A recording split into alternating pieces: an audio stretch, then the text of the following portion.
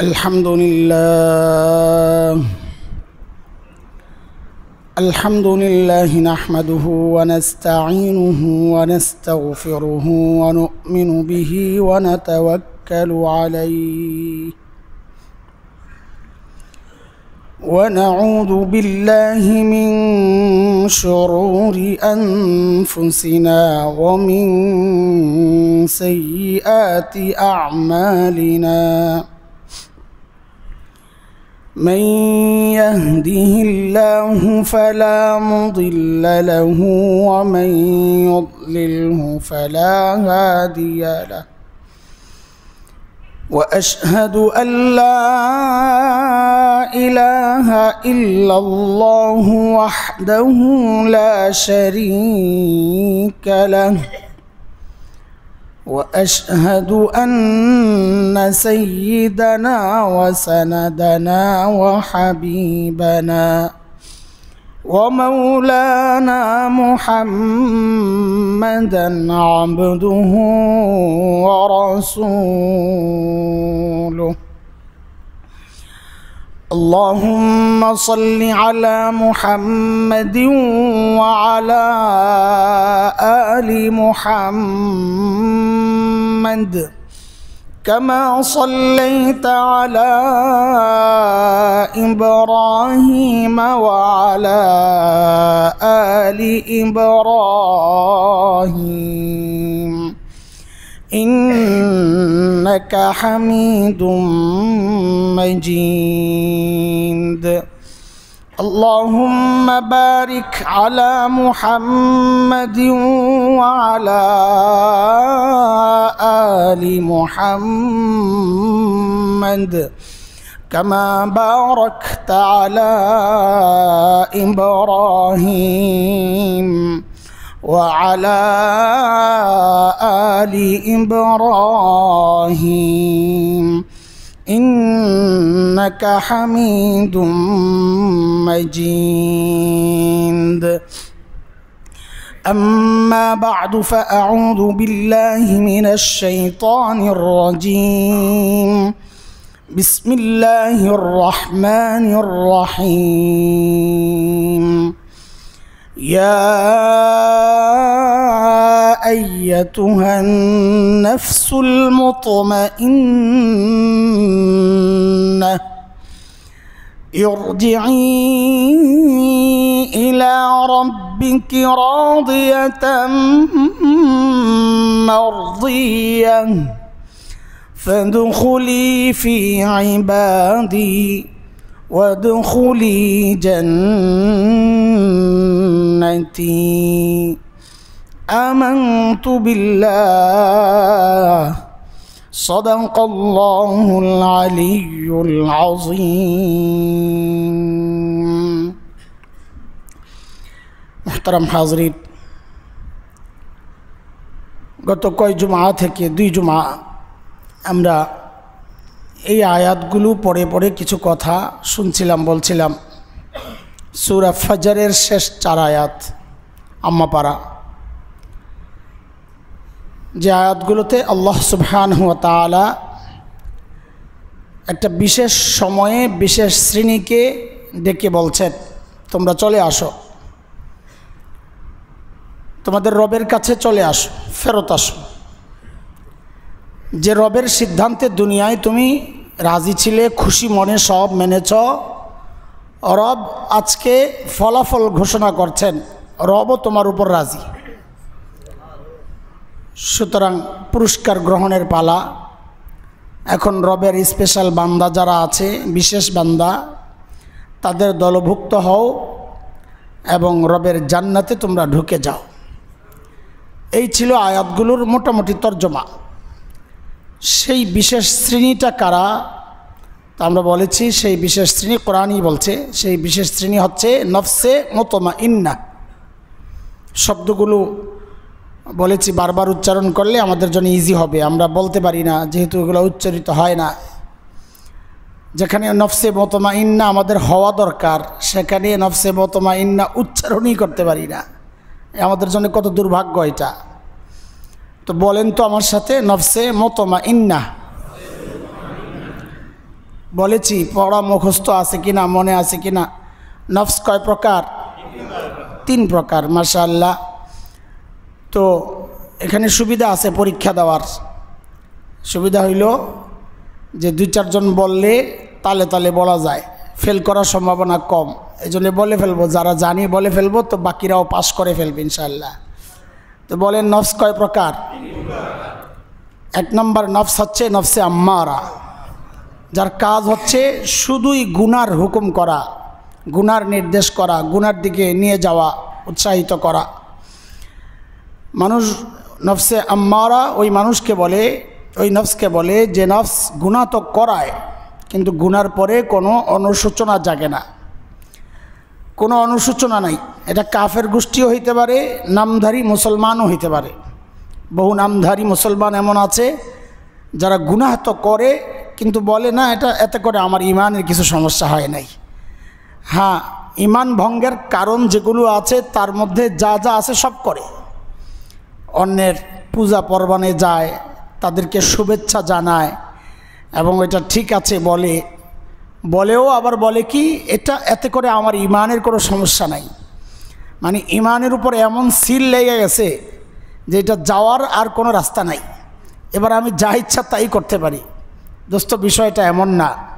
নবী আলি ইসালাম বলেছেন, যেমন সময়ও আসবে, সকালে ইমানদার ছিল, বিকালে বেইমান হয়ে মারা গেছে।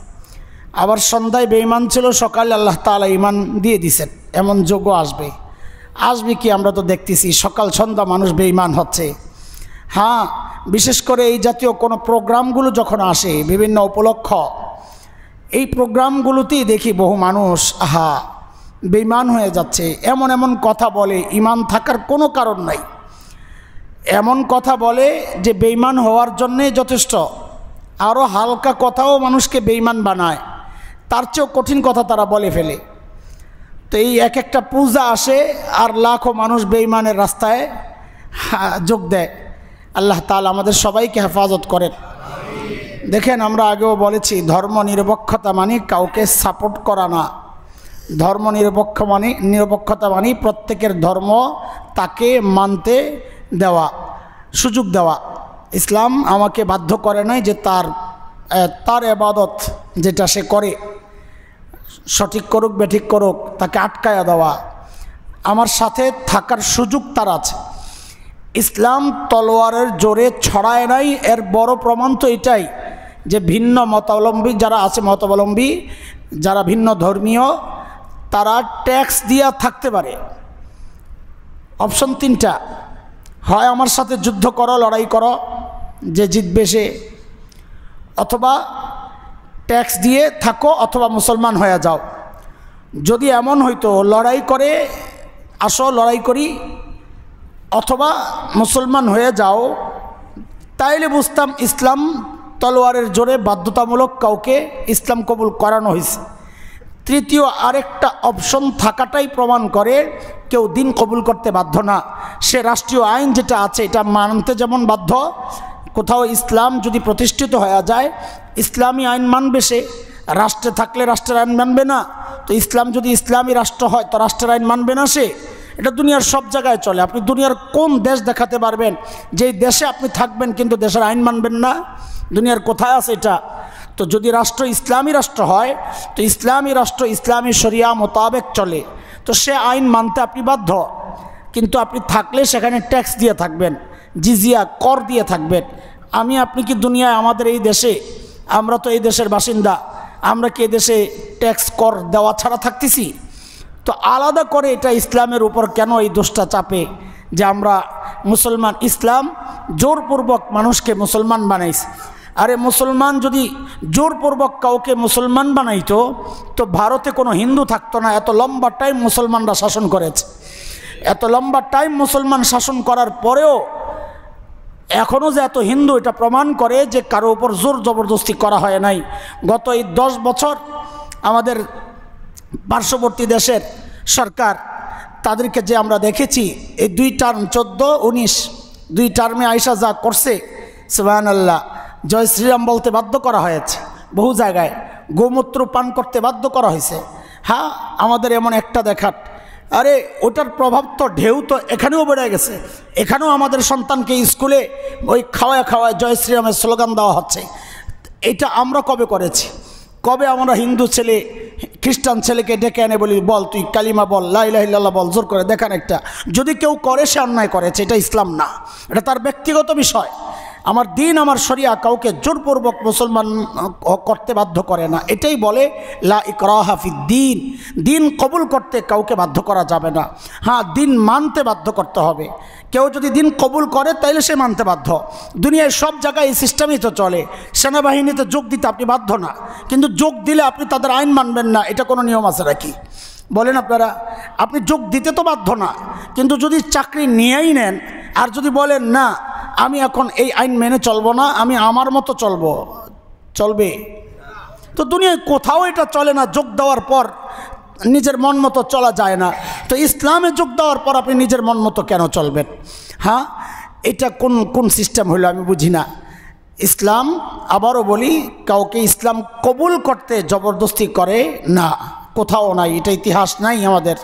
যদি কোথাও হয়ে থাকে, এটা তার ব্যক্তিগত ব্যক্তিগত সমস্যা, এটা ব্যক্তিগত জুলুম, এটার দায় ইসলাম নিবে না। তো যাই হোক, বলতেছিলাম যা আমাদের নফসে আম্মারা কাকে বলে? যে গুনাহ করে কিন্তু অনুশোচনা জাগে না। এটা কাফেররাও হইতে পারে, আবার নামধারী মুসলমানও হইতে পারে। যারা গুনাহ তো করে, কিন্তু মনে করে যে আমার ইমান যায় নাই। এটা একটা ধোকা একটা ধোকা। দুই নম্বর নফসের নাম ছিল নফসে লৌয়ামা নফসে লৌয়ামা যে গুনাহ করার পর তার নফস তার ভেতর থেকে অনুশোচনা জাগে যে কাজটা ঠিক হয় নাই।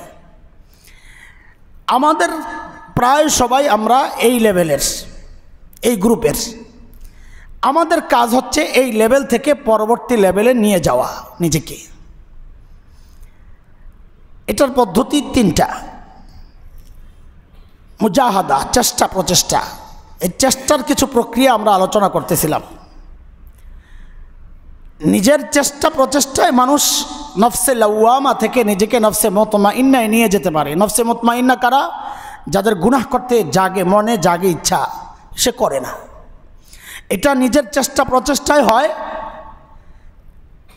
নিজের চেষ্টা, প্রচেষ্টা যখন পুরাপুরি হয়, তখন আরেকটা বিষয়ে জুড়ে সেটা হচ্ছে হেফাজত, আল্লাহ তাকে হেফাজত করে। গুণা থেকে আল্লাহ বাঁচায় দেন। এটা সাধারণ মানুষের ক্ষেত্রে হইলে বলে হেফাজত, নবীদের ক্ষেত্রে হইলে বলে ইসমত।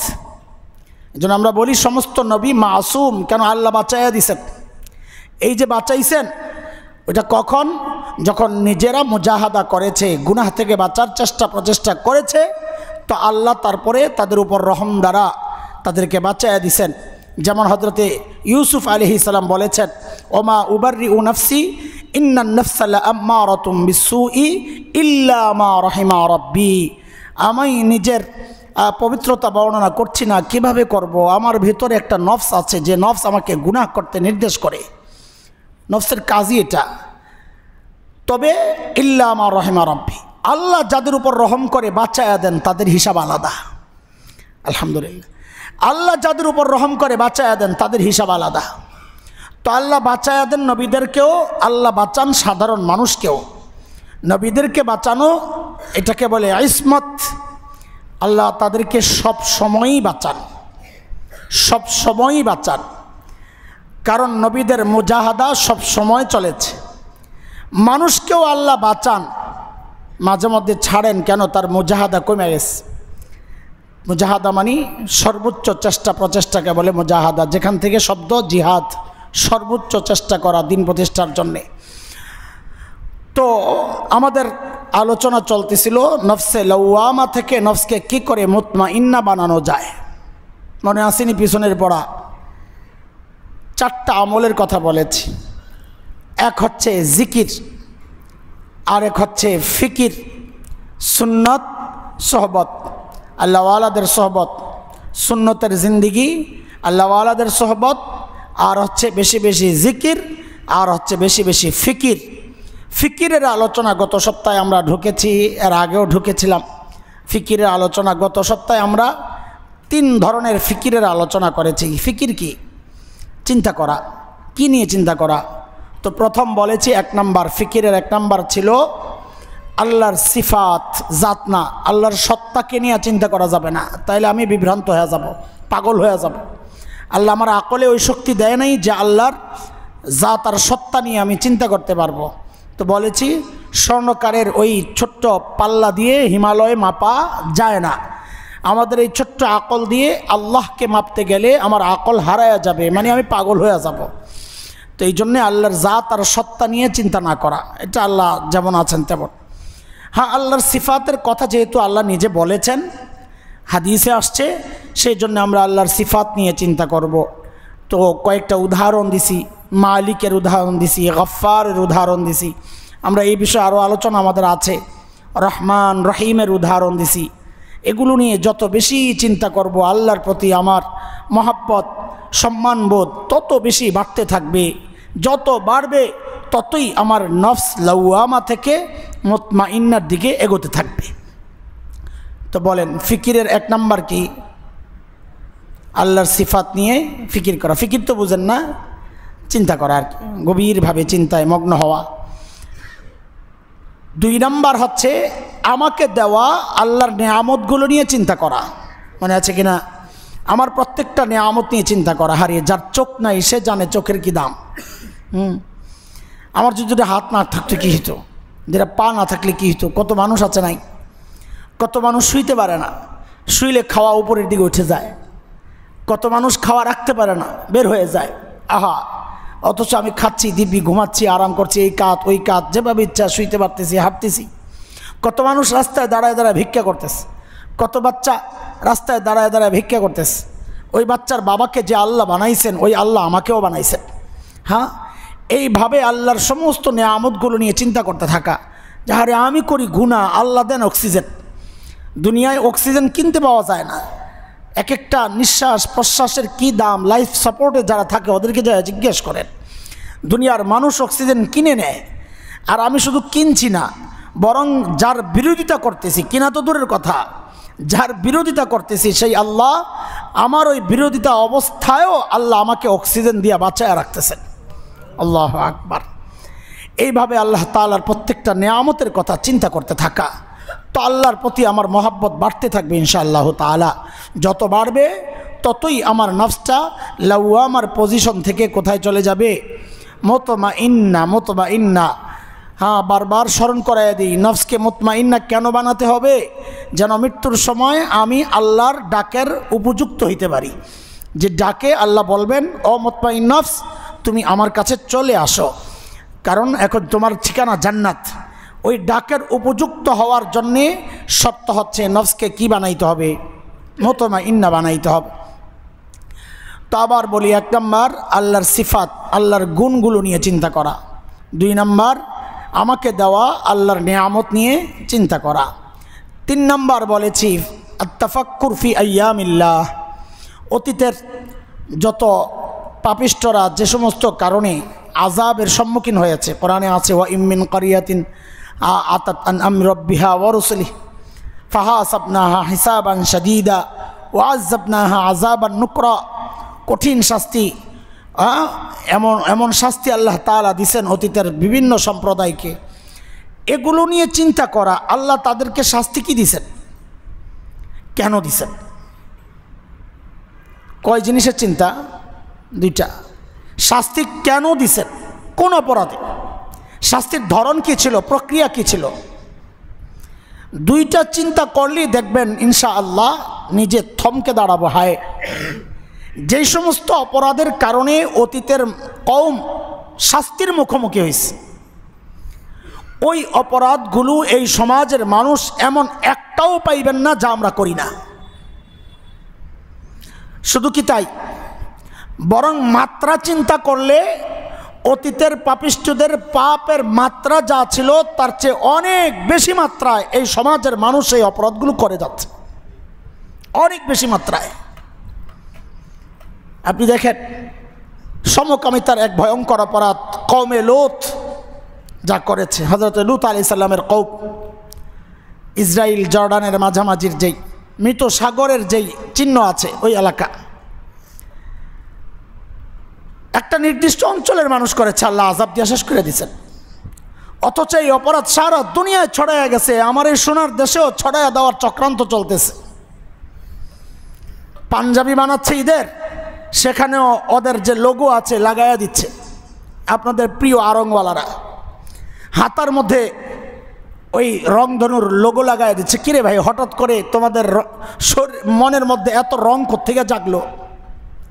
হঠাৎ করে মনের মধ্যে এত রং কোথেকে জাগলো যে আমার ঈদের পাঞ্জাবিতে তোমরা তোমাদের লোগো লাগাই দিচ্ছ। রংধনুর সাথে ঈদের কি সম্পর্ক?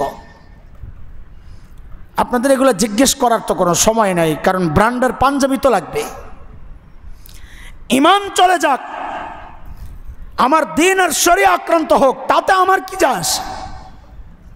আমার তো ব্র্যান্ড দরকার। যারা এই সমস্ত অপরাধকে প্রমোট করে, এদের কোনো পণ্য ক্রয় ক্রয় করা মানে এদেরকে সহযোগিতা করা, আর এদেরকে সহযোগিতা করা মানে এদের যে পাপ এরা ছড়াতে চাচ্ছে ওই পাপের একজন সহযোগী আমিও হয়ে যাচ্ছি নজবুল্লাহ আলিক আমাদের দেশে যে সমস্ত কোম্পানি পাপকে প্রমোট করে, ইমানদার যদি হয়ে থাকেন, ওই সমস্ত কোম্পানির পণ্য শুধু বয়কট না, অন্যদেরকেও বয়কট করতে উৎসাহিত করা আপনার জন্য ফরজ এটা। ইমানদার আপনি না, এই ইমান আপনার। একটু সুন্দর করে সাজাবে আপনাকে। ওই চিন্তায় আপনার ইমানকে না পাক করতেছে, এটা আপনার কাছে কিচ্ছু যায় আসে না। এ হলো আমাদের ইমানের হালত। আমাদের সুরত সুন্দর হোক, ভেতর কি আসে যায়? সুরত বাহিত্য তো রূপ ঠিকঠাক করতে পারে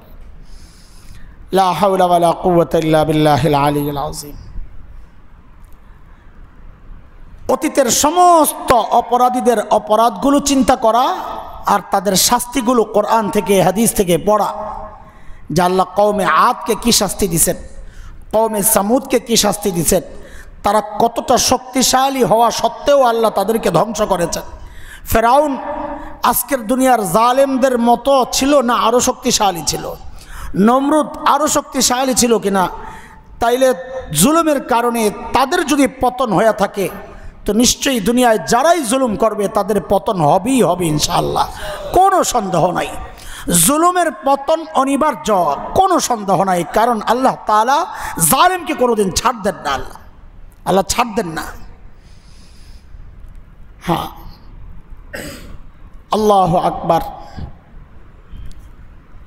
তো অতীতের গুণাগার অপরাধী যারা শাস্তি পাইছে, এদেরকে নিয়ে চিন্তা করা, এদের শাস্তি নিয়ে চিন্তা করা। নিজেরা ওই সমস্ত পাপ থেকে বিরত থাকা, অন্যদেরকে উৎসাহিত করা। এটা হচ্ছে আমার একটা জিম্মাদারি। যদি এই কাজ করি তাহলে আমার নফসটা লাউয়ামা থেকে কি হয়ে যাবে? আস্তে আস্তে মতমা ইন্না হয়ে যাবে। কয়টা গেল ভাই? তিন ফিকির। আপনারা পড়া মুখস্থ না করলে তো আমার সমস্যা, আমার বারবার বলতে হয়। বলে কয় ফিকিরের কথা গেল? তিন ফিকির। টোটাল আমল কাজ হচ্ছে চারটা। নফসে লওয়ামা থেকে মোতমাইন্না নেওয়ার মোট কাজ কয়টা? বেশি বেশি জিকির বলেন, এক নম্বর কাজ কি? বেশি বেশি জিকির করব, বেশি বেশি জিকিরের মধ্যে তেলাওয়াত, উত্তম জিকির, কোরআন তেলাওয়াত। এই জন্য বেশি বেশি কোরআন আল করিমের তেলাওয়াত কর। দুই নম্বর হচ্ছে, যা আমল করব, সব সুন্নত তরিকায় করব। সুন্নতের পাওয়ার এত যে সুন্নত সাধারণ আমলকেও এবাদত বানায়া দেয়। এই জন্যে আমরা সব কাজ করব সুন্নত তরিকায়। সুন্নত তরিকায় মানে কি? যে কোনো কাজ করার সময় চিন্তা করব, এই কাজটা আমার নবী কীভাবে করেছেন? হ্যাঁ তিন নাম্বার হচ্ছে আল্লাহওয়ালাদের সহবতে যাব বেশি বেশি, নেককার ইমানদারদের সহবতে বেশি বেশি যাব। যত বেশি ইমানদারদের সহবতে থাকব, তত বেশি আমার গুনাহ করার যে ইচ্ছা, এটা দুর্বল হইতে থাকবে এবং গুণা থেকে বাঁচা সহজ হবে। আমি থাকব গুণামুক্ত ইনশাআল্লাহ তালা নেককারদের ওখানে তো গুণা হয় না। এই ছোট্ট একটা মজলিসই দেখেন না, এখানে যারা আসছেন, নেক আমল করার নিয়তে আসছেন না? এখানে গুণা চলতেছে। কেন চলতেছে না? নেককাররা পাশাপাশি থাকলে গুণা চলে না। হিসাব সোজা। এখানেই দেখেন এই ছোট্ট মজলিসটা, এখানে তো আমরা গুণা করতেছি না। কেন? এই যে নেককাররা পাশাপাশি বসা। নেককাররা যখন পাশাপাশি থাকে অটোমেটিক আল্লাহ তালা ওই মজলিসটাকে গুণামুক্ত বানায় দেন। এটা নেককারদের সোহবতের বরকত। সাহাবা কারাম নবীর সোহবত পাইছেন, যার কারণে কোনো সাহাবি গুণা যদি হয়েও গেছে, রাখেন নাই, তাড়াতাড়ি পরিষ্কার করে ফেলছেন। এই জন্যে সাহাবিরা মকফুর সমস্ত সাহাবিকে আল্লাহ মাফ করে দিছেন, যার কারণে কোনো সাহাবির কোনো দোষ ত্রুটি, ভুল, অযোগ্যতা, দুর্বলতা এগুলা নিয়ে কোনো কথা বলা যাবে না। কেন? আল্লাহ মাফ করে ফুল অ্যান্সার হিসাবে কবুল করে ফুল নাম্বার দিয়ে দিছেন। আল্লাহ যাদেরকে ফুল নাম্বার দিছেন, আমি বেকুফ জাহেল, মূর্খ, তাদেরকে নাম্বার দেওয়া, এটা আমার মূর্খতা ছাড়া কিচ্ছু না। অনেক মূর্খ আছে সমাজে যারা সাহাবিদেরকে পয়েন্ট দেয়, পয়েন্ট, লা হাওলা ওয়ালা কুওয়াতা ইল্লা বিল্লাহ। ও আলেম নামের কলঙ্ক। যে সাহাবিরে পয়েন্ট দেয় নাম্বার দেয়। ও আলেম নামের কলঙ্ক। যদি কোনো আলেম নামের জাহেল যদি এই কাজ করে থাকে, সাহাবিরে পয়েন্ট দেয় না, নব্বই দেয়, পঁচাশি দেয় লাহাউলা কুবতিল্লা তুমি জাহেল সাহাবিরে পয়েন্ট দেওয়ার কে? তুমি মক্তবের ছাত্র না। তুমি কেজির ছাত্র না। তুমি ইউনিভার্সিটির প্রফেসরের নাম্বার দাও না। হ্যাঁ কয় কাজ গেল বলে? তিনটা। চার নাম্বার হচ্ছে ফিকির ফিকির। ফিকির কি? চিন্তা করা। গভীর চিন্তায় মগ্ন হওয়া। কি নিয়ে ফিকির? এক নাম্বার, আল্লাহর গুণগুলি নিয়ে চিন্তা করা বেশি বেশি। আল্লাহ মন আল্লাহ কত মহান। এত বিশাল দুনিয়া আল্লাহর সৃষ্টি সুহান আল্লাহ বিশাল দুনিয়া আল্লাহ চালাইতেছেন সুহান আল্লাহ আল্লাহ কত সুন্দর করে বানাইছেন। এগুলো দেখতে থাকা আর আল্লাহ শুক্রিয়া আদায় করে থাকা। তিন নাম্বার হচ্ছে আমাকে দেওয়া আল্লাহর নিয়ামত নিয়ে চিন্তা করা। চার নাম্বার, অতীতের সমস্ত সম্প্রদায়কে নিয়ে চিন্তা করা, তাদের আজাব ও গজব নিয়ে চিন্তা করা, তাদের অপরাধগুলো নিয়ে চিন্তা করা। এই পর্যন্ত গত জুমায় আমরা আলোচনা করেছি। গত জুমা পর্যন্ত এই আলোচনা হয়েছে। আজকে হচ্ছে ফিকিরের চার নাম্বার দিকটা কী নিয়ে ফিকির কর? সেটা হচ্ছে প্রতি রাতে ঘুমানোর আগে দিয়ে আমি আমাকে নিয়ে ফিকির করব। আজকে সারাদিন আমার কীভাবে কাটছে ওইটা নিয়ে। দুইটা জিনিস বের করব। ভালো কি কি করছি? সমস্ত ভালো কাজগুলো বের করব। আজকে আমার এই এই কাজ করার তৌফিক হয়েছে। আলহামদুলিল্লাহ, আমি এই ভালো কাজগুলো করছি। সমস্ত ভালো কাজগুলো টেনে টেনে বের করে, মনে করে করে শেষ। আলহামদুলিল্লাহ। কি পড়ব? আল্লাহর শুক্রিয়া আদায় কর সমস্ত ভালো কাজগুলো চিন্তা করে আল্লাহ শুক্রিয়া আদায় করব। আলহামদুলিল্লাহ বলব। কেন? এটা আল্লাহ তালার তৌফিকের কারণে হিস আল্লাহ যদি না চাইতেন এই কাজগুলো করা আমার পক্ষে সম্ভব ছিল না। যে আল্লাহ আমাকে এই কাজগুলো করার সুযোগ করে দিছেন, তৌফিক বলে এটাই সুযোগ করে দিছেন, ওই আল্লাহর প্রশংসা। শুক্রিয়ার কৃতজ্ঞতা এটা সবাই চায়, দুনিয়ার সবাই, আমরাও তো চাই, কিছু করলে মানুষ কৃতজ্ঞ হোক, এটা কে না চায়? আল্লাহ বান্দার কাছে এটাই চান, বান্দা শুক্রিয়া আদায় করুক। বাকি শুক্রিয়ার আমার যে লাভ, একটা তো আখেরাতের লাভ আছেই, যে শুক্রিয়া আদায় করলে আল্লাহ আখেরাতে বিনিময় দিবেন। আর নগদ লাভ হচ্ছে আল্লাহ তালার ওয়াদাস লা ইন শাকারতুম লা আযীদান্নাকুম, তুমি যদি শুক্রিয়া আদায় করো বান্দা। তো আমি নিয়ামতকে বাড়াইয়া দিব, অবশ্যই বাড়াইয়া দিব। দেখেন একটা সূক্ষ্ম ব্যাপার আছে এখানে, বলি আপনাদেরকে। স্বাভাবিকভাবেই আমাদের মাথায় ঢুকে কি, আমি নেয়ামতের শুক্রিয়া আদায় করলে আল্লাহ আমাকে ওই নেয়ামত আরও বাড়াইয়া দিবেন, তাই না? আমাদের মাথায় তো এটাই ঢুকছে। আমি একশো টাকা পাইছি, আল্লাহ দিছেন। তা আমি শুক্রিয়া আদায় করছি। আলহামদুলিল্লাহ, আল্লাহ আমার একশো টাকা দিচ্ছেন তা আমার চিন্তা হইল, এই শুক্রিয়ার কারণে আল্লাহ ভবিষ্যতে আমাকে এর চেয়ে বেশি দিবেন দুশো টাকা দিবেন। এটাই তো আমার মাথায় ঢুকছে, তাই না? কিন্তু অনেক মুফাসির জিনিসটাকে ব্যাপক রাখছেন যে আল্লাহ বলেছেন, লা আমি তোমাকে বাড়ায়া দিব কি বাড়াবেন এটা আল্লাহ বলেন নাই? তুমি কারও নির্দিষ্ট করতেছ। যা আমি যেই নিয়ামতের শুক্রিয়া আদায় করছি, আল্লাহ ওই নিয়ামত বাড়াইবেন।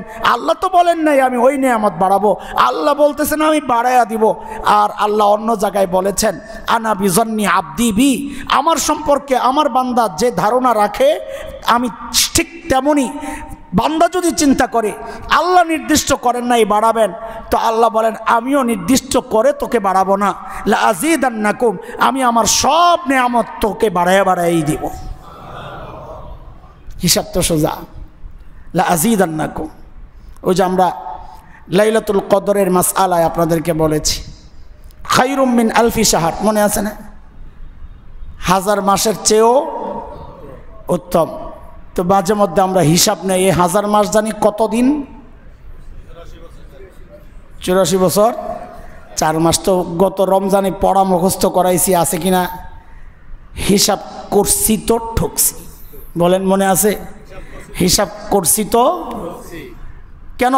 আরে আল্লাহ বলতেছেন, উত্তম, তুমি চার চৌরাশি বছর, চার মাস কীভাবে হিসাব করো? আল্লাহ বলতেছেন, উত্তম উত্তম মানে এটা আপেক্ষিক শব্দ। ব্যক্তি হিসাবে উত্তম কম বেশ হয়। ব্যক্তি হিসাবে বেশি কম বেশ হয়। ফকির বেশি বললে তার বেশির একটা লিমিট আছে। প্রধানমন্ত্রী বেশি বললে সেটারও একটা লিমিট আছে। আল্লাহ বলছেন বেশি। সুবাহান আল্লাহ এটা কত বেশি? বলে, হাজার মাসের চেয়েও উত্তম কত? বলে, আমার আল্লাহ বড় যত। হুম? আমি কেন নির্দিষ্ট করে ঠকতে যাব? ঠিক এখানেও একই কথা। লা ইন শাকারতুম লা আজিদান্নাকুম বান্দা, তুমি যদি শুক্রিয়া আদায় করো, আমি আল্লাহ বাড়াইয়া দিব। বলে, কত বাড়াবেন বলে, কত শুই না তোর লাভ কি? আমি বড় যত, বাড়াবো তত। সুহান কাজে যেই নিয়ামতের শুক্রিয়া আদায় করছে, শুধু ওই নিয়ামতেই বাড়বে এমনটা না। আল্লাহ আরও বিভিন্ন নিয়ামত, যা আমার জরুরত, আমার দুনিয়ার জন্য জরুরত আমার আখেরাতের জন্য জরুরত আল্লাহ সমস্ত নিয়ামত বাড়াইয়া দিবেন, ইনশাআল্লাহ তার এই জন্যে আমার কাজ হচ্ছে নিজেকে নিয়ে ভাবা। কি ভাবা? যে আমি সারাদিন বসে বসে চিন্তা করব, আমি কি কি ভালো কাজ করছি আজকে? আল্লাহ কি কি তৌফিক দিছেন? সবগুলো চিন্তা করে বলব লাক আলহামদিয়া আল্লাহ, আলহামদুলিল্লাহ। আল্লাহ আপনি তৌফিক দিছেন, তাই করছি, আলহামদুলিল্লাহ। এরপর সারাদিনের ভুলগুলো চিন্তা করব, কি কি ভুল করছি আজকে? আমি কি কি গুনাহ করে ফেলছি? দুনিয়ার কেউ না জানলেও আমি জানি। আল্লাহ জানেন। হ্যাঁ এমন গুণাও আছে যা আমি জানি না আল্লাহ জানেন। এমন বহু গুণা আছে যে আমরা গুণা তো করছি কিন্তু বুঝতে পারতেছি না গুণা বহু গুণা আছে। গুণা না চেনার কারণেও হইতে পারে, আবার আমি অসতর্ক ছিলাম সে কারণে হইতে পারে। আমি বুঝিও নাই গুণা হয়ে গেছে। এই সমস্ত গুণাগুলো একসাথে করে এরপর দিল থেকে আল্লাহর কাছে একটু অনুতপ্ত হয়ে ক্ষমা চাওয়া। আল্লাহ, আমি ভুল করছি, আমারে মাফ করে দাও। এই গুণাগুলা হয়ে গেছে। আমাদের বড়রা বলেন, দুইভাবে চাওয়া যায় গুণা ধরে ধরে মাফ চাওয়া। যে আল্লাহ, আজকে এই কাজটা করতে পারি নাই, করেছি, মাফ করে দাও। ধরে ধরে ধরে ধরে মাফ চাওয়া। আরেকটা হচ্ছে, একদম টোটাল করে মাফ চাওয়া। আল্লাহ, আজকে সারাদিন যা গুণা করছি আমি জেনে যা করেছি, না জেনে যা করেছি। যেই গুণা আমি জানি, সেগুলাও, যেই গুণা আমি জানি না, আপনি জানেন তা থেকেও, আল্লাহ আমি সমস্ত গুণা যা করছি, আমি অপরাধ করেছি, আমি স্বীকার করতেছি। আমি লজ্জিত, আমি অনুতপ্ত, আমি ওয়াদা করতেছি, আর করব না। আমাকে আজকের মতো মাফ করে দেন আল্লাহ। এইভাবে প্রতিদিন আমি মাফ চাইয়া নেব। তো এটাকেই বলে, হাসিবু কবলা আন্ত হাসাবু। নিজের হিসাব হওয়ার আগে আগে, হাসরে আমার হিসাব তো হবে। ওই হাসরে আমার হিসাব হওয়ার আগে আগে, দুনিয়ায় তুমি তোমার হিসাবটা নিজে নিজে করে নাও। নিজে করে নাও। মেসেজ ডিলিট করেন না খালি। মেসেজ ডিলিট করে না মানুষ। এই, কিছু মেসেজ ডিলিট করে লাগবে না, বাদ। এখন যদি কেউ মোবাইল চেক করে, এই, তোমার কাছে না এই মেসেজ আসছিল কই? বলে ডিলিট করে দিস। নাই, জিনিস নাই, সব ডিলিট হয়ে গেছে। বাস, ওটা বাদ ডিলিট হয়ে গেছে। হাসরের মাঠেও কিন্তু বান্দা, অনেক বান্দা ওই অবস্থার মুখোমুখি হবে। আমল নামা গুণা কই? দুনিয়ায় ডিলিট করে আসছি। এখন আর হিসাব নাই। দুনিয়ায় হিসাব যে ক্লোজ করে দেয়, হাসরের মাঠে তার হিসাব হবে না। কোরআনে করিমে আসছে হিসাব ইয়াসিরা, সহজ হিসাব। আম্মা জান আয়সা রদি আল্লাহ আনহা জিজ্ঞেস করছেন, ইয়া রসুল আল্লাহ হিসাব আবার সহজ কেমনে হবে? হিসাব হইলেই তো ধরা। এটা সহজ মানিটা কি? তো নবী আলি ইসালাম বলেছেন, হিসাব সহজ মানি হচ্ছে হিসাব না করা। তো আমল নামার ধরাইয়া লও, খুঁজি কিতাব ধরো, তুমি তোমার কিতাব ধরো, আমল নামা ধরো, যাও। এটা হচ্ছে সহজ হিসাব। যদি খোলা হয় একরা কিতাবাক, কোরআনের কথা, পড়ো পড়ো। কি কি আছে পড়ো? আয় আল্লাহ, তখন বান্দা চিৎকার করা শুরু করবে, মালি হাজ আল কিতাব এটা কেমন আমল নামা, আমার একটা ছোট গুণাও ছোটে নাই, বড় গুণাও ছোটে নাই, সব দেখি লেখা। হায়, এখন আমার কি হবে? এটা হচ্ছে হিসাব, যদি নেওয়া হয়, তাই। আর হিসাব সহজ, হিসাব মানি, বন্ধ, কিতাব খোলা হবে না, আমল নামা খোলা হবে না, ধরাইয়া দিবে, যাও। তোমার আমল নিয়া, আমল নামা নিয়া তুমি তোমার জান্নাতে চলে যাও। আল্লাহ আকবার, আল্লাহ। আল্লাহ আমাদের সবার জন্য হিসাব ইয়াসিরা সহজ হিসাব আমাদের সকলের জন্য কবুল করেন। ও ভাই, হিসাব সহজ কখন হবে? যখন কেউ নিজের হিসাব দুনিয়ায় করে নেয়। দুনিয়ায় যে নিজের হিসাব করে নাই শুধু তার হিসাবটাই সহজ হিসাব হবে। দুনিয়ায় যে নিজের হিসাব করে না, তার হিসাব তো রয়ে গেছে। হিসাব তো হবে। হিসাব তো হবেই। দুনিয়ায় করা হয়ে গেলে আর হবে না। করা না হইলে হবে, হিসাব সোজা। এই জন্যে আমার তৃতীয়, চতুর্থ ফিকিরের নাম হচ্ছে, আমি নিজেকে নিয়ে ফিকির করব। সারাদিনের সমস্ত নেক আমালগুলো মনে করে করে আল্লাহ শুক্রিয়া আদায় করব, আলহামদুলিল্লাহ। আর সমস্ত গুণাগুলো মনে করে করে আমি অনুতপ্ত, লজ্জিত হয়ে আল্লাহর কাছে মাফ চাইব ইনশাআল্লাহ তালা ঠিক আছে ইনশাআল্লাহ? ফিকিরের এই চতুর্থ প্রকার গেল। পঞ্চম প্রকার। ফিকিরের পঞ্চম প্রকার। দেখেন, সেটা হচ্ছে, এটাকে বলে আত্তাফাক্কুর মা বা আদাল মৌত মৃত্যুর পরের জিন্দিগি নিয়ে ফিকির করা।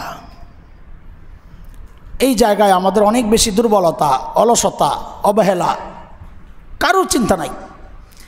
আপনারা আপনারা এখানে আমরাও, আমিও, আমারও হালতেই। পরের জিন্দিগি নিয়ে কে চিন্তা করতেছি বলেন? কারও কোনো চিন্তা নাই। হ্যাঁ আমার হাসর কি হবে? আল্লাহ না করুন যদি জাহান্নামে চলে যায়, আমার কি হবে? কবরের জিন্দিগিতে কি হবে? মৃত্যুর সময়ের অবস্থা কি হবে? কারও কোনো চিন্তা নাই, চলছে বাস।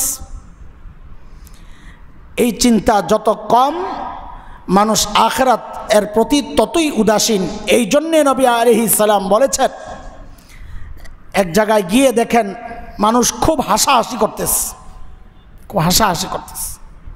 নবী সাল্লাম থামাইছেন।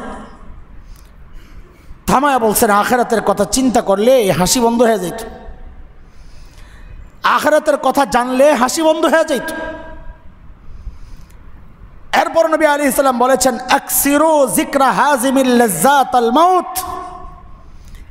যে বিষয় তোমার দুনিয়ার সুখ, আনন্দ শেষ করে সেই মৃত্যুকে বেশি বেশি স্মরণ করো। কবরস্থানে যাওয়ার মাকসাদ কি? আমরা তো কবর জেয়ারতে খুব যাই। কেন মসজিদ থেকে দোয়া করলে পাবে না কবরওয়ালা? বলেন আপনি এখান থেকে রব্বির হামহুমা পড়লে আপনার মা বাবার কবরে যাবে না? এখান থেকে তেলাওয়াত করলে মা বাবার কবরে যাবে না? তা আমি কেন যাই কবরস্থানে? কবরস্থানে যাওয়ার উদ্দেশ্য কবরওয়ালার উপকারিতার চেয়ে নিজের ব্যাপারটা বেশি, যে কবরে যত বেশি যাব, তত বেশি আমার কবরের জিন্দিগির কথা মনে হবে যাহারে একদিন এই কবরে তো আমাকেও ঢুকতে হবে। এ হচ্ছে কবরস্থানে যাওয়ার মাকসাদ। অথচ এই সমাজের মানুষ এতটা বেহায়া, নির্লজ্জ হয়ে গেছি আমরা। সেই এখন শুনতেছি, রিপোর্ট আসতেছে, কবরস্থানে বসে বসেও মানুষ পাপাচারে লিপ্ত হচ্ছে। কেন আসছো এখানে? যে জায়গাটা একটু নিরিবিলি আস। লাহাউল্লাহ ছেলে মেয়ে বসে বসে আড্ডা দিচ্ছে, প্রেমিক প্রেমিকা, কবরস্থানে। সাংবাদিক গেছে এখানে কেন আসছো? জায়গাটা একটু নিরিবিলি পাইছি, চিন্তা করছেন ও আখেরাতে বিশ্বাস করে? অথচ কবরের ওই কবরবাসীর চিৎকার যদি সে শুনত। হাদিসের কথা, যখন ওই লোহার হ্যাঁ মুগুর মুগুর বলে, ওইটা দিয়ে যখন একজন অন্ধ বধির ফিরিস্তা যখন পিটাইতে থাকবে, যে কানেও শোনে না, চোখেও দেখে না, তার কাজ হচ্ছে শুধু পিটা। যখন ওই পিটাইতে থাকবে, আর বিষাক্ত নিরানব্বইটা সাপ যখন নিয়োগ করবেন আল্লাহ তালা যেই এক একটা সাপ সম্পর্কে হাদিসের কথা, যদি একটা বিষাক্ত ওই সাপ যদি একটা নিঃশ্বাস দুনিয়ায় দেয়, দুনিয়ার সমস্ত গাছপালা জ্বলে ছাইত হবে, আর কোনোদিন কোনো গাছপালা জন্ম নেবে না। এত বিষ। পারমাণবিক অস্ত্রের কথা তো শুনেছি আমরা। ওটা বিশ্বাস করি। কিন্তু কবরের ওই সাপের নিঃশ্বাস এটা কত বিষাক্ত? যার নিঃশ্বাস এত বিষাক্ত, তার ছুবল কত বিষাক্ত? আছে কোনো চিন্তা?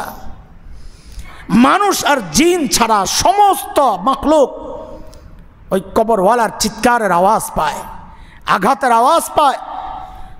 এই জন্যে বহু কবরের কাছে জীবজন্তু লাফাইতে থাকে অস্থির হয়ে হাদিসে আসছে, নবী আলী ইসলাম বলেছেন, এক জায়গা দিয়ে যাচ্ছিলেন ওট লাফাইতে শুরু করেছে। নবী আলি সাল্লাম জিজ্ঞেস করছেন, এখানে কারও কবর আছে? কার কবর? খবর লও। তোমরা কি চেনো? তো বলেছে হ্যাঁ এখানে কি ইসলামের আগেই, আপনি এক মদিনায় আসার আগেই কিছু মুশরিক, তাদের কবর এগুলা। নবী আলি সাল্লাম বলছেন, তাদের কবরে শাস্তি হইতেছে। ও টের পাওয়া গেছে। দুনিয়ার সব জীবজন্তু টের পায়, কবরে আজাব হইলে। আওয়াজ পায়। মানুষ পায় না, জিন পায় না, কেন পায় না? নবী আলি ইসালাম বলেছেন, ওই কবরের আওয়াজ যদি কেউ পাইতো, দুনিয়ার কেউ আর হুশ ঠিক রাখতে পারতো না, বেহুশ হয়ে যেত আর আওয়াজ পায়া দেখা, ইমান, এটার নাম ইমান না, ইমান হচ্ছে ইমান বিল গায়েব, না দেখে বিশ্বাস করার নাম ইমান, দেখে বিশ্বাস করার নাম ইমান না। যার কারণে মৃত্যুর চূড়ান্ত মুহূর্তে কেউ যদি ইমান কবুল করে, তার ইমান গ্রহণযোগ্য না। কেন? এখন মৃত্যুর আলামত দেখে তুমি ইমান আনছো ইমানের কোনো দাম নাই আল্লাহর কাছে। আল্লাহর কাছে ইমানের দাম হইল ইমান বিল গায়েব। না দেখে বিশ্বাস করা, নবী বলেছেন বিশ্বাস করছি। এই জন্যে আল্লাহ তালা কবরের আজাবের ওই বিষয়গুলো মানুষের বোধের বাইরে রাখছেন। আল্লাহ আওয়াজটা মানুষের কান পর্যন্ত পৌঁছান না, জীবজন্তুর কানে পৌঁছান না। যদি বসতো মানুষ হুশে থাকতো না বেউস হয়ে যেত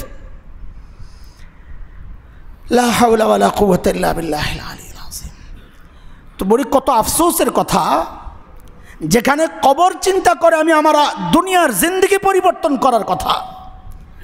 সেই মানুষ কতটা নির্লজ্জ আর কতটা আখারাত সম্পর্কে উদাসীন, সেই কবরস্থানে বসে বসে গুনার কাজে লিপ্ত হচ্ছে। নওয়াজবিল্লাহ নওয়াজবিল্লাহ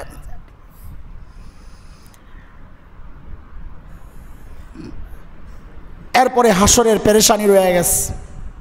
কি অবস্থা বলেন? উলঙ্গ সব দৌড়াচ্ছে, কারও কোনো খবর নাই, মা বাবা চিনে না, সন্তান চিনে না। হ্যাঁ? ইয়মাইয়া ফিরুল মার উমিন আহি ও উম্মিহি ও আবি ও সাহিবাতিহি ও বানি। বিবি চিনবে না, সন্তান চিনবে না, মা বাবা চিনবে না, সব দৌড়াচ্ছে, পেরেশান। সূর্য মাথার উপর। এখন একটু রোদ, কত দূরে সূর্য সইতে পারি না। প্রেশান হয়ে গেছি মাথার উপর। তখন অবস্থা কি হবে? মগজগুলো যখন পানির মতো হ্যাঁ এরকম ঢেউ খেলবে, ঢেউ। ঘামের মধ্যে আমরা বিচরণ করতে থাকব। কি অবস্থা তখন হাসরের? হায়, কারও কোনো চিন্তা আছে? কি মানানছি আমরা বলেন তো? আসলে আসলে আমাদের ইমানের হালতটা কি বলেন তো?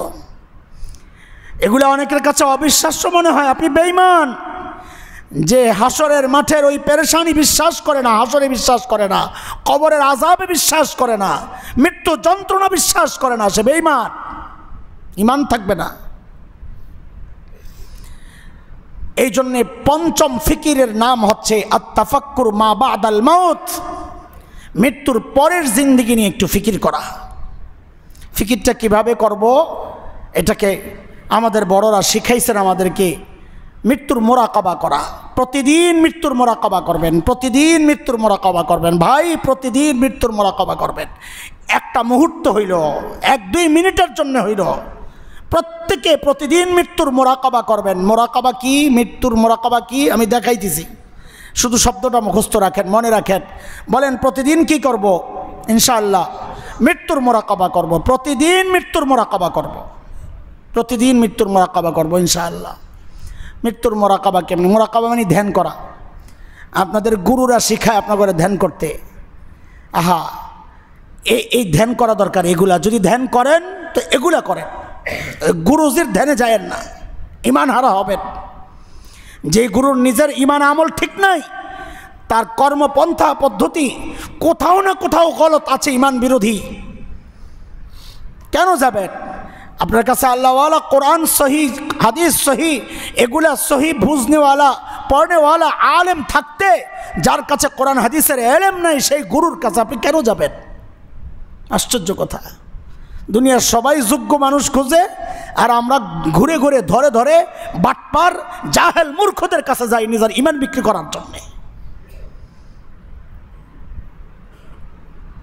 মৃত্যুর মোরাকাবা কেমনে করে? ঘরের মধ্যে যদি নিরিবিলি পরিবেশ না থাকে, আলাদা করে এরকম একটু বসার মতো জায়গা যদি না থাকে, তো ঈশান নামাজের পর মসজিদেই কিছুক্ষণ অবস্থান করেন না। মসজিদে কিছুক্ষণ অবস্থান করে চুপচাপ এক কোনায় বসে বসে চোখ বন্ধ করেন। ঘরের মধ্যে সুযোগ থাকলে একটা রোমের মধ্যে আলাদা একটু লাইটটা বন্ধ করে, একা একটা নীরব অবস্থা তৈরি করে চুপচাপ বসে যান। চোখ বন্ধ করেন। এরপরে নিজের মৃত্যুর বিষয়গুলো কল্পনা করতে থাকেন। একদম মৃত্যুর আগের অবস্থা, মৃত্যুর সময়ের অবস্থা, মৃত্যুর পরের অবস্থা, কবরে রাখার প্রথম অবস্থা। এই পর্যন্ত একটু কল্পনা করেন আর চিন্তা করতে থাকেন। আল্লাহর কসম খায়া বলি, প্রতিদিন এই প্র্যাকটিসটা করলে ইনশাআল্লাহ তার দিল থেকে দুনিয়ার মোহ, দুনিয়ার ভালোবাসা, আকর্ষণ যেতে বাধ্য, আখরাতের প্রস্তুতি নেওয়ার জন্যে যে মানসিকতা দরকার, সেই মানসিকতা তার তৈরি হবেই হবে, তার নফস মতমা ইন্না ইনশাআল্লাহ হয়ে যাবে। মৃত্যুর মোরাকাবা, চোখ বন্ধ করেন, আর কল্পনা করতে থাকেন, আমি শুয়ে আছি, জীবন সায়ান্নে আছি, জীবনের শেষ সময়গুলো পার করতেছি, আমার মৃত্যু চলে আসছে। আপনজনরা চারোপাশে যাদের সন্তান আছে, সন্তানের চেহারাটা বেশি কল্পনা করি। যাদের সন্তান নাই, মা বাবা আছে, মা বাবার চেহারা বেশি কল্পনা করি, কারণ আপনজন হারানোর ব্যথা সবচেয়ে বেশি এই দুই গ্রুপ পায়। বাবা মা পান, সন্তান চলে গেলে, সন্তান পান, বাবা মা চলে গেলে। এই এই জন্য এই দুই গ্রুপের চিন্তা আমরা বেশি করি, যদি থাকে সন্তানের চেহারা, বিবির চেহারা, মা বাবার চেহারা। কল্পনা করি মা বাবা না থাকলে নিজের সন্তানের কথা চিন্তা করি, আপনজনের কথা চিন্তা করি, যে আমি শুয়ে আছি, লম্বা হয়ে চারদিক থেকে আমার আপনজন হ্যাঁ আমাকে ঘিরে আছে, কেউ কান্না করতেছে, কেউ আমার শরীর ধরে ধরে আফসোস করতেছে, হায় হায়, কী অবস্থা, কেউ মাথায় হাত বুলাইতেছে, আমি কিচ্ছু বলতে পারতেছি না, এর মধ্যেই মালাকুল মৌত চলে আসছে ঘরে, হায় আল্লাহর হুকুমে মালাকুল মৌত আমার রোহ কবজ করা শুরু করছে। আঙ্গুলের মাথাগুলো ধীরে ধীরে সাদা হয়ে যাচ্ছে। আস্তে আস্তে রোহ, আস্তে আস্তে শরীর থেকে বের হয়ে যাচ্ছে। আহ, অসহ্য অসহ্য যন্ত্রণা।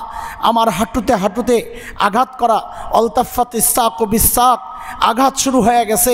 মৃত্যু যন্ত্রণায় অস্থির কাতরাচ্ছি, চিৎকার করছি, কেউ শুনতে পাচ্ছে না। আহা, আমার আশপাশ ওয়ালারাও বুঝতে পারতেছে আমার জীবনের শেষ সময়টা যাচ্ছে। সাকারাতুল মাউত চলতেছে, মৃত্যুর চূড়ান্ত মুহূর্ত চলতেছে, তারা কানতেছে বাচ্চাগুলো বলতেছে, আব্বা আব্বা, কথা বলো না কেন? বিবি বলতেছে, ওগো, তুমি কথা বলো না কেন? মা বাবা কানতেছে ওরে বাবা, তুই কথা বলিস না কেন? কারোর সাথে কথার জবাব আমি দিতে পারছি না। আমি তো শুনতে পারছি, ধীরে ধীরে আমার রোহ যখন বের হয়ে যায়, সবাই চিৎকার করে কানতেছে বাচ্চাগুলো আব্বা আব্বা বলে চিৎকার করতেছে, বিবি চিৎকার করতেছে, মা বাবা চিৎকার করতেছেন, সবাই কান্না করতেছে। আমি তো শুনতেছি কিন্তু জবাব দিতে পারছি না। একটা সময় দেখা গেল, আমার লাশটা বের করা হচ্ছে, গোসলখানায় নেওয়া হচ্ছে। আমি জিজ্ঞেস করতেছি, আমাকে কোথায় নিয়ে যাচ্ছ? কেউ কথা বলতেছে না। আমাকে গোসল করানো হচ্ছে। আমি জিজ্ঞেস করতেছি, কেন এইভাবে গোসল করাইতেছ? কেউ কথা বলে না। আমাকে সাদা কাপড়ে মোড়ানো হচ্ছে। আমি জিজ্ঞেস করতেছি, এরে ভাই, এই কাপড়ে আমাকে কেন মোড়াচ্ছ? কেউ কথা বলে না। আমাকে গোসল করাইয়া কাফন পরাইয়া আমাকে ওই নির্দিষ্ট খাটিয়ার মধ্যে শোয়া দেওয়া হয়েছে। জিজ্ঞেস করতেছি, আমার বিছানায় কেন নয়? এখনও কেন শোয়াইলা? কেউ কথা বলে না। হায়, আপনজন কাঁদে নিয়েছে খাটিয়া। আমাকে জানাজার জায়গার দিকে নিয়ে যাবে। ঘর থেকে লাশ বের হচ্ছে। দরজার আড়াল থেকে বিবি শেষবারের মতো তাকায়া আছে। মা তাকায়া আছে। ছোট্ট ছোট্ট বাচ্চারা দরজায় দাঁড়ায়া, বাবা বাবা, বলে চিৎকার করতেছে। আমি কোনো জবাব দিতে পারতেছি না। চলছে লাশ জানাজা যেখানে হবে, সেই মাঠের দিকে, মাঠে রাখা হয়েছে একজন দাঁড়ায় গেছেন ইমাম জানাজা পড়ানোর জন্যে। আমি জিজ্ঞেস করতেছি, আপনারা কেন আমার এইভাবে নামাজ পড়তেছেন? কেন আমি পড়তে পারতেছি না? কেউ কথা বলতেছে না। যে যার মতো কাজ করতেছে, জানাজা শেষ। এখন লাশ কাঁদে ওঠাইয়া আমাকে কবরের দিকে নিয়ে যাওয়া হচ্ছে। আমি চিৎকার করতেছি, আরে তোমরা আমাকে ঘরে না নিয়া কোথায় নিয়ে যাচ্ছ? কেউ কথা বলে না। কবর খোদা হয়ে গেছে ইতিমধ্যেই। দুইজন কবরে নেমেছে, উপর থেকে আমাকে কবরে রাখা হচ্ছে। আমি চিৎকার করতেছি, আরে আমাকে কোথায় নামাচ্ছ? কেউ কথা বলে না।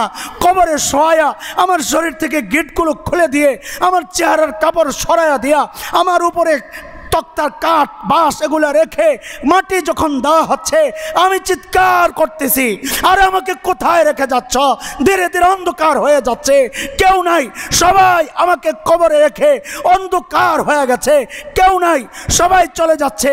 পায়ের আওয়াজ পাইতেছি, জুতার আওয়াজ পাইতেছি। আমি তো চিৎকার করতেছি। আরে আমার চিৎকার শোনার মতো কেউ নাই। অন্ধকার ঘরের মধ্যে ফিরিস্তা চলে আসছে। আমাকে বসায়া দিছে। জিজ্ঞেস করা শুরু হয়ে গেছে।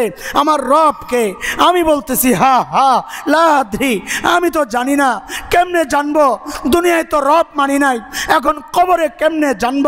আমাকে দিন সম্পর্কে জিজ্ঞেস করা হচ্ছে। আমি বলছি, হা হা লাদ্রি হায়, আমি তো জানি না, কেমনে জানব? দুনিয়ায় তো দিন মানি নাই, তো কবরে কেমনে দিন জানব? আমাকে নবী দেখায়া জিজ্ঞেস করা হয়েছে ইনিকে আমি কেমনে চিনবো? দুনিয়ায় নবীর সুন্নত মানি নাই, আমি চুল রাখছি বিধর্মীতির মতো, আমি কাপড় পরছি বিধর্মিতর মতো, আমি ব্র্যান্ডের চিন্তা করেছি, আমি সুন্নতের চিন্তা করি নাই। হা হা, আমি কেমনে চিনব? যেই জবাব দিতে পারলাম না, এমনি ওই ফেরিস্তা, অন্ধ ফেরিস্তা, হাদিসের কথা, একজন অন্ধ ফেরিস্তা নিয়োগ হবে যে কানেও শোনে না, চোখেও দেখে না। লোহার গুরমুজ নিয়ে, ওই লোহার মুগুর নিয়ে যেই আঘাত করা শুরু করবে, দুনিয়ার সবাই শুনবে আঘাত। আমি চিৎকার করব, চারোদিক থেকে কিলবিল করে বিষাক্ত সাপগুলো যখন বের হতে থাকবে।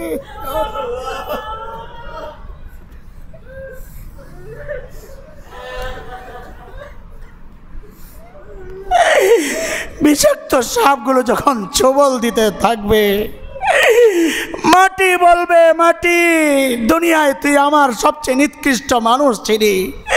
আমি কিচ্ছু বলতে পারি নাই তোকে, তুই যা মনে চাই তাই করেছিস। আজকে তোকে আমি বাগে পায়ে গেছি।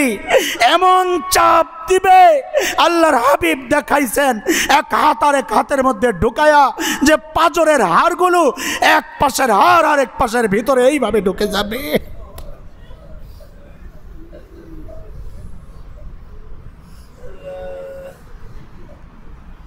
আল্লাহ।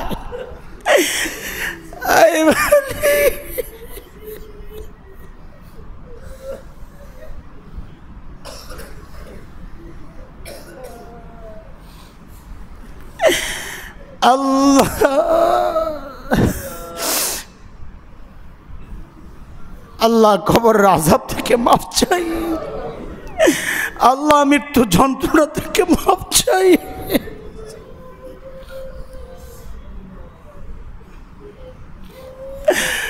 لا حول ولا قوة إلا بالله العلي العظيم.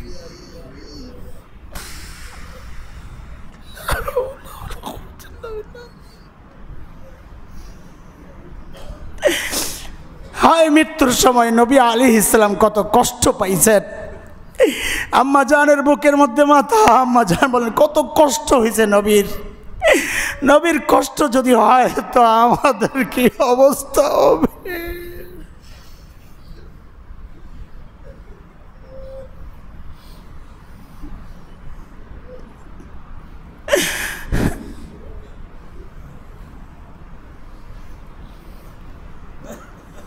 অদস্ত প্রতিদিন একটু মোরাকাবা করেন। প্রতিদিন এক দুই মিনিট বের করে মৃত্যুর মৃত্যুর মোরাকাবা করেন। মৃত্যুর মোরাকাবা করেন, কবরের মোরাকাবা করেন, আখরাতের চিন্তা করেন। আল্লাহর কসম আল্লাহর কসম, দিল এমন থাকবে না। দিল থাকবে না। গুনাহ করার পর, অনুশোচনা জাগার পর্যায়ে থাকবে না। ইনশাআল্লাহ ইনশাল্লাহ দিল গুণামুক্ত হওয়ার জন্যে গুনাহ থেকে নিজেকে বাঁচানোর জন্যে দিল যেই মানসিকতা থাকা দরকার, আল্লাহ তাআলা ওই রকম মানসিকতা আমার মধ্যে দিয়ে দিবেন ইনশাআল্লাহ। আমার দিল, আমার নফস মুতমাইন্না হয়ে যাবে ইনশাআল্লাহ তাআলা।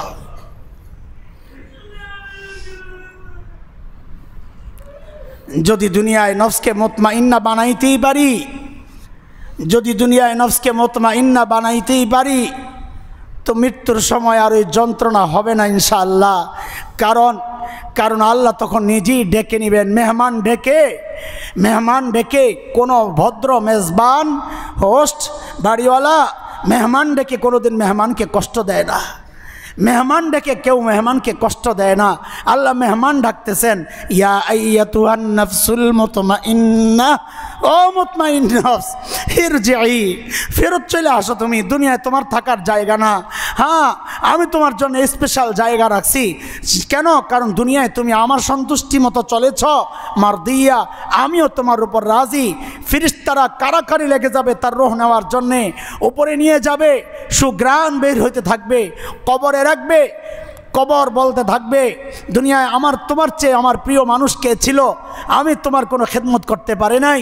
আজকে আসছ, আল্লাহর হাবিব সাল্লাহ আলি সাল্লাম বলেন, তখন কবরটা দৃষ্টি সীমা পর্যন্ত প্রশস্ত হয়ে যাবে। জান্নাতের দরজা খুলে দিবেন আল্লাহ তালা জান্নাতের দৃশ্য দেখতে পারবে সে। জান্নাতের বাতাস খাইতে থাকবে, জান্নাতি খাবারের ব্যবস্থা হবে, জান্নাতি পোশাক পরাইয়া দেওয়া হবে। আর যদি গুনাহগার হয়, তো সাথে সাথে জাহান্নামি পোশাক পরাইয়া দেওয়া হবে, জাহান্নামের গেট খুলে দেওয়া হবে, সেখান থেকে বিষাক্ত, দুর্গন্ধ, গরম, প্রচণ্ড বাতাস তার কবরে আসতে থাকবে, জ্বলতে থাকবে, অস্থির, হয়, কষ্ট পেতেই থাকবে। আল্লাহ তালা আমরা যেন ওই ভয়ঙ্কর অবস্থার মুখে না পড়ি, সেই জন্যে আমাদের নফসকে, নফসে মতমা ইন্না বানাইতে হবে ইনশাআল্লাহ তালা ইনশাআল্লাহ ইনশাআল্লাহ। চারটা আমল করে নফসকে মুতমাইন্না বানাইতে পারি। এক হচ্ছে বেশি বেশি জিকির করার মাধ্যমে, সমস্ত আমল সুন্নত তরিকায় করার মাধ্যমে, আল্লাহ আল্লাহওয়ালাদের সোহবতে বেশি বেশি যাওয়ার মাধ্যমে, আর হচ্ছে ফিকিরের মাধ্যমে। কিসের ফিকির? আল্লাহর সিফাতের ফিকির। আমাকে দেওয়া আল্লাহর নিয়ামতের ফিকির। পূর্ববর্তী উম্মত যারা আল্লাহর আজাবের শিকার হয়েছে তাদের অপরাধগুলো এবং শাস্তিগুলো, এগুলো নিয়ে ফিকির। চার নম্বর নিজেকে নিয়ে ফিকির। আজকে সারাদিন কি ভালো কাজ করছি? মনে করে করে আলহামদুলিল্লাহ বলা গুণাগুলো মনে করে করে তওবা করা, পাঁচ নাম্বার হচ্ছে মৃত্যুর পরের জিন্দিগি নিয়ে ফিকির করা। এই পাঁচটা ফিকির যদি করি নিয়মিত নিয়মিত জিকির আর তাজবি আর সুন্নত আল্লাহওয়ালাদের সোহবত যদি চালাই, ইনশাআল্লাহ ইনশাআল্লাহ। নফস মুতমাইন হবে আর আল্লাহ মৃত্যুর সময় ওই রহমতের ডাক দিয়ে আমাকে নিয়ে যাবেন, ইনশাআল্লাহ তালা আল্লাহ তালা আমাদের সকলের জন্যে ওই মৃত্যু নসিব করেন। আল্লাহ তালা আমাদের সকলের নফসকে নফসে মতমা ইন্না বানায় দেন। আমিন। ওয়া আখরুদ্দাওয়ানা আলহামদুলিল্লাহ রবিল আলমিন।